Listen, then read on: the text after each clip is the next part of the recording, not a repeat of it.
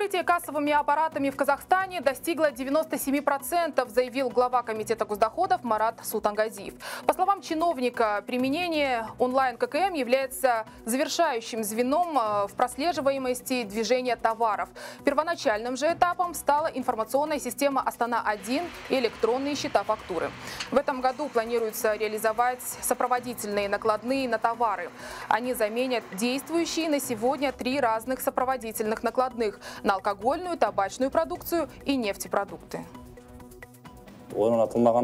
Оставшиеся 3% непокрытой кассовыми аппаратами зоны – это неработающие субъекты предпринимательства, либо фирмы с временно приостановленной деятельностью. Сейчас можно установить кассовые аппараты и на телефон бесплатно. Затронули в Комитете госдоходов и наболевшую коронавирусную тему. Из-за COVID-19 товарооборот с Китаем за январь-февраль этого года упал на 22%. Из этого числа автомобильным путем стало завозиться и вывозиться товаров на 24% меньше, ЖД-транспортом на 14% евразиялық экономикалық. Такая же ситуация наблюдается и со странами ЕАЭС. Товарооборот с соседними странами снизился на 20%. И так как импорт показывает убыль, поступления в бюджет тоже сократятся.